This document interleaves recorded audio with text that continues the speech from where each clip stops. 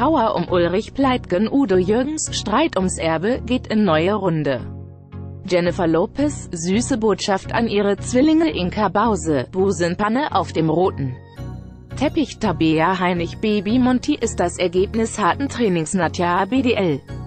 Verrax, so wurde sie alkoholabhängig Busenpanne, Inka Bause zeigt XXL Dekolit Kylie Jenner sorgt für Snapchat-Skandal Gerhard Schröder, mit Freundin Sion auf dem roten Teppich Nadja, ich lebe ganz normal, Tabea Heinig spricht über ihren jahrelangen Kinderwunsch, unter uns Star Tabea.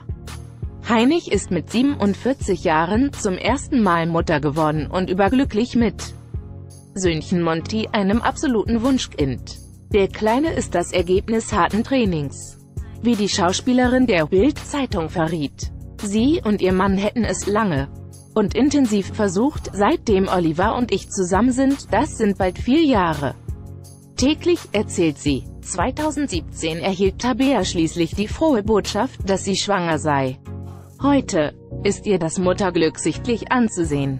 Neue Mama Tabea und ihre niedlichen Monty sehen.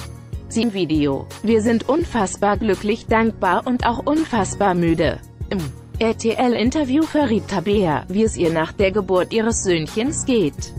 Es ist kaum in Worte zu fassen, wir sind unfassbar glücklich, dankbar und auch unfassbar müde. Wie wahrscheinlich alle frisch gebackenen Eltern haben wir unser Baby nach der Geburt einfach nur schockverliebt stundenlang angestarrt. Das späte Gebären lege bei der 47-Jährigen in der Familie. Ihre Mutter sei bei ihrer Geburt 42 gewesen, und das obwohl die medizinische Technik in den 70ern nicht so weit war wie heute. Trotzdem hatte auch die Schauspielerin eine Risikoschwangerschaft. Das Baby-Interview in voller Länge, wie es der Schauspielerin während ihrer Schwangerschaft ergangen ist und wie ihre, unter uns, Kollegen auf die Baby-News reagiert haben, lesen Sie